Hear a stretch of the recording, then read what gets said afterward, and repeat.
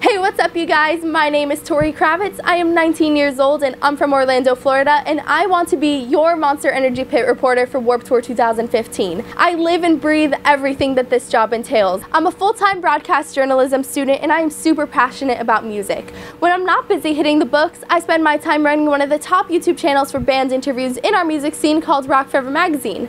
Since the channel started in 2010, I've gotten to interview some incredible bands like Pierce the Veil, Sleeping with Sirens, Black Veil Brides, Of Mice and Men, and more. I even got to chat with the man, the legend, the Warped Tour god, Kevin Lyman.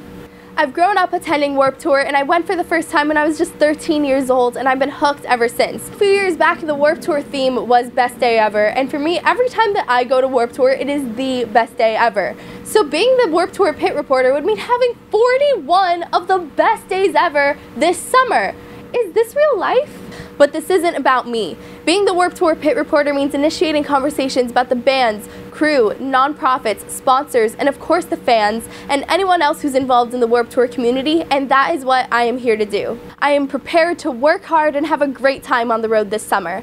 I know you've been getting a lot of applications, but look, now you can just sit back and relax because you're looking at your next pit reporter right here.